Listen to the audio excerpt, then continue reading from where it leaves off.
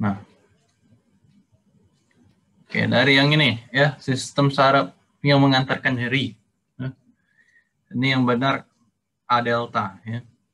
Nah ini kalau kalian mau review itu ada di bab yang ini pengantar di mat, file kuliah materi kuliah ini kan jadi kalau yang file MCQ ini udah kakak susun ya menurut menurut ini jadwal kuliah kalian ya yang file Excel itu nah ini jadi di A delta ini sama sebenarnya ada serabut C tapi di pilihan tadi tidak ada kan serabut serab C nah dan kalau antara delta dan C itu ada perbedaan dalam hal kecepatan. Ya. Ingat kayak konsep listrik.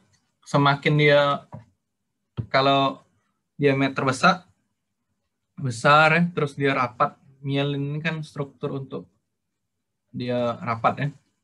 Maka makin cepat transmisi dari sarafnya. Ya. Nah sama lokasinya berbeda nih ya.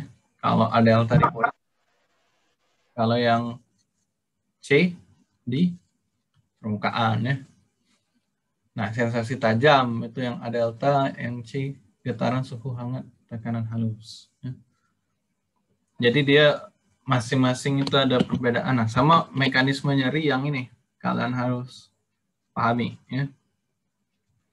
Pertama kali nyeri datang itu biasanya contoh dia ke, ke tusuk paku ya, ada lokasi cedera, site of injury. Ya.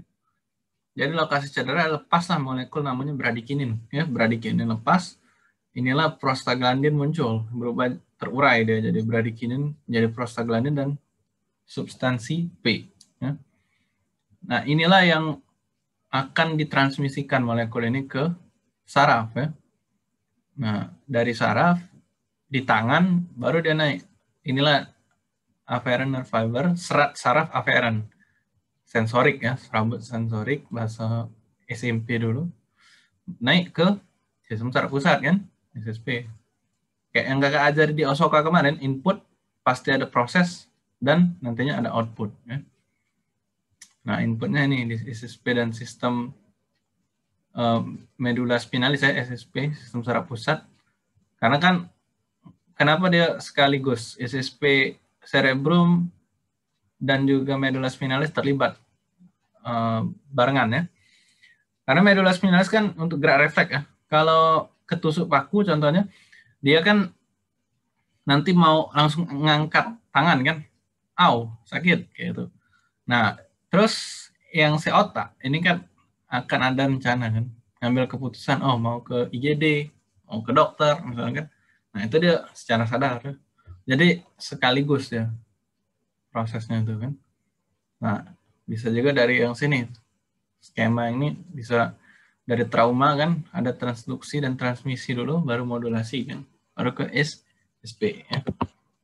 Oke, kurang lebih itu untuk nyeri ya. Saya nanti sebenarnya ini kan ada yang soal tentang sistem saraf kan. Nah, ini tadi yang jadi perbedaannya nodus Renfir-nya ini, nah celah yang merah-merah ini ini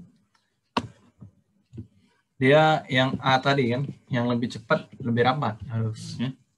Ini kalian bayangkanlah kayak rel kereta api lah ya. Rel kereta api itu kan ada besi ya. Besi dan ada celahnya untuk dia bisa memuai ya. Nah itu analogi sistem saraf itu ya. Oke selanjutnya yang kakak review ini. Nah